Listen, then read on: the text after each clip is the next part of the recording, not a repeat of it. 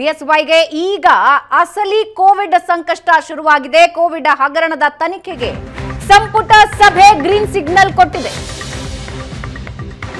ಮಾಜಿ ಸಿಎಂ ಯಡಿಯೂರಪ್ಪ, ಶ್ರೀರಾಮುಲುಗೆ ಈಗ big shock.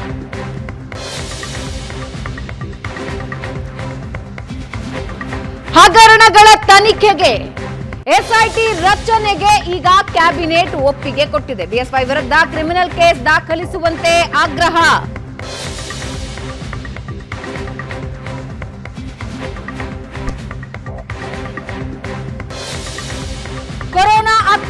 ಬಗ್ಗೆ ತನಿಖೆ ನಡೆಸಿ ವರದಿ ನೀಡಿದೆ ಆಯೋಗ. ನ್ಯಾಯಮೂರ್ತಿ ಮೈಕಲ್ ಕುನ್ಹಾ ಆಯೋಗದಿಂದ ಮಧ್ಯಂತರ ವರದಿ ಸಲ್ಲಿಕೆಯಾಗಿತ್ತು.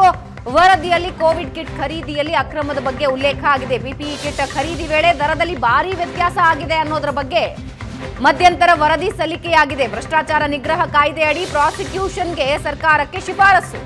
ಕುನ್ಹಾ ಆಯೋಗದ ಶಿಫಾರಸ್ಸಿನಂತೆ ತನಿಖೆಗೆ ಕ್ಯಾಬಿನೆಟ್ ಒಪ್ಪಿಕೊಂಡಿದೆ. ಎಲ್ಲ ಸಚಿವರು, ಕ್ಯಾಬಿನೆಟ್ನ ಎಲ್ಲ ಸಚಿವರು ಹೌದೌದು ತನಿಖೆ ಮಾಡಲೇಬೇಕು ಅಂತ ಒಕ್ಕರಲಿನಿಂದ ಆಗ್ರಹಿಸಿದ್ದಾರೆ.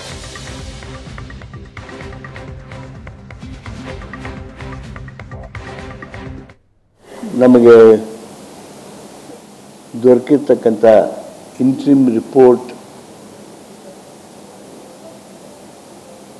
ಪರಿಶೀಲಿಸಿ ರಾಜ್ಯ ಸರ್ಕಾರ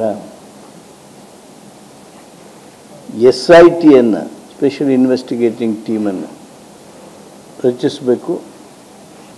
ದೊರೆತ ಆಧಾರಗಳು, ವಿಷಯ ಹಾಗೂ ವಿವರವಾದ ಮಾಹಿತಿ ಅವೆಲ್ಲವುಗಳ ಹಿನ್ನೆಲೆಯಲ್ಲಿ ಮುಂದಿನ ತನಿಖೆ ಹಾಗೂ ಕ್ರಮಕ್ಕಾಗಿ ಎಸ್ ಐ ಟಿ ಮಾಡಬೇಕು ಅಂಥೇಳಿ ಸಚಿವ ಸಂಪುಟ ನಿರ್ಣಯ ಮಾಡಿತು. ನಮಗೆ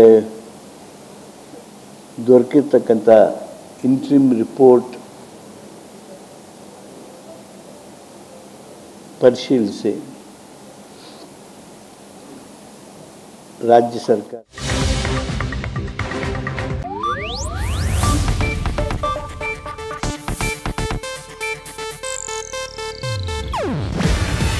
ಇದು ಏಷ್ಯಾನೆಟ್ ನ್ಯೂಸ್ ನೆಟ್ವರ್ಕ್ ಪ್ರಸ್ತುತಿ. ನೀವು ನೋಡ್ತಿದ್ದೀರಾ ಏಷ್ಯಾ ನೆಟ್ ಸುವರ್ಣ ನ್ಯೂಸ್.